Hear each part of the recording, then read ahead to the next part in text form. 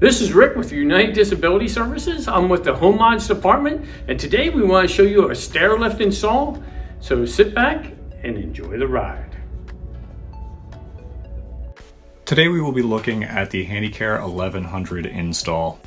I've placed the stand feet on the appropriate steps, taken measurements, and cut the rail.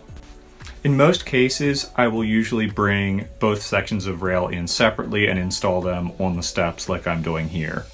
Now that I have the rail in, I can attach all the stand feet and check for my first clearances from the step nose and the back wall.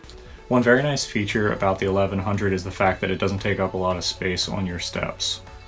So the next step is to start prepping the charger and charge contact strip that goes in the back of the rail. This is one of the most important parts of the install is making sure that this is perfect so the unit charges.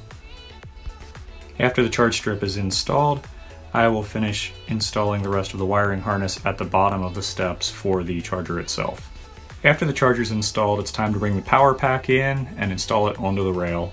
Now that I have the power pack on the rail, I'm going to wire the batteries and install a jumper so I can then run the unit remotely. I'll then take the unit to the bottom of the steps to prep it for the footrest, wiring harness, and shell. So the next step is to install the footrest onto the power pack itself and wire up the wiring harness that controls all of the safeties and hand controls on the seat when the seat is installed. Now that the wiring is complete, it's time to install the plastic shell that protects the unit itself. This cover protects the motors, motherboard, and batteries. The next step is to install the seat mounting bracket and install the seat. After the seat's been installed, I will then start to wire the footrest and hand controls. Now that the wiring is complete, I will cut and install the plastic covers that protect the wiring harness and the seat mounting bracket.